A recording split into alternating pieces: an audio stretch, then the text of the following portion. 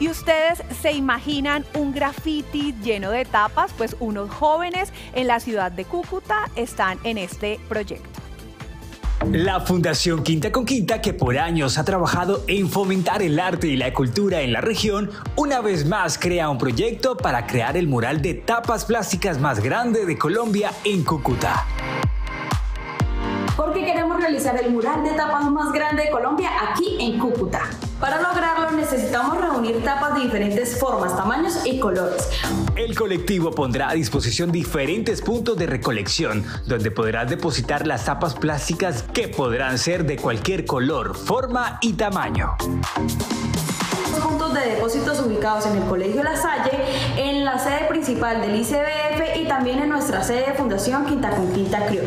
Quienes estén interesados en aportar en este gran proyecto artístico y ambiental podrán comunicarse a través de su página en Facebook Fundación Quinta con Quinta.